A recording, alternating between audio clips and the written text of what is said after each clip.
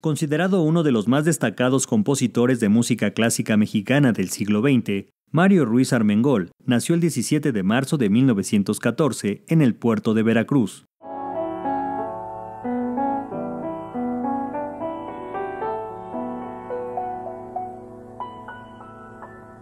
¿Por qué será? ¿Por qué será? Su gusto por la música lo heredó de su padre Ismael Ruiz Suárez, quien también fue un notable pianista y director de orquesta.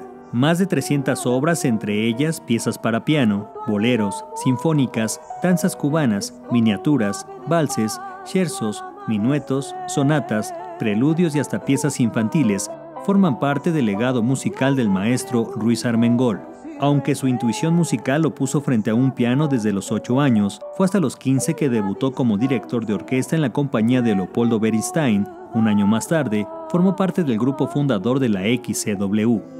En 1936 estudió armonía y contrapunto con el maestro José Rolón y para 1948, ya con 34 años, conoció a Rodolfo Halfter, quien lo motivó a escribir sus siete ejercicios de composición y armonía, considerados piedra angular de su producción.